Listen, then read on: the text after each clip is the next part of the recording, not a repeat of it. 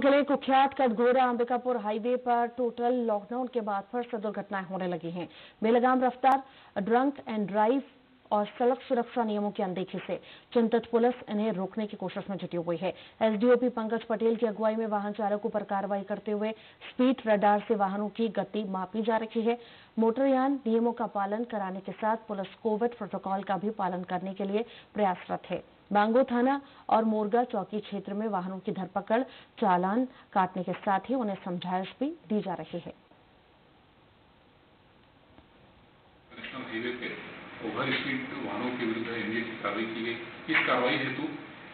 Speed जो police line उपलब्ध speed speed radar gun उस मशीन का उपयोग किया गया। लगभग 10 से अधिक वाहनों के ऊपर जो है तय सीमा से अधिक रफ्तार में वाहन चलाने को लेकर एनडीए की कार्रवाई की गई। रहे छोटे से ब्रेक के लिए।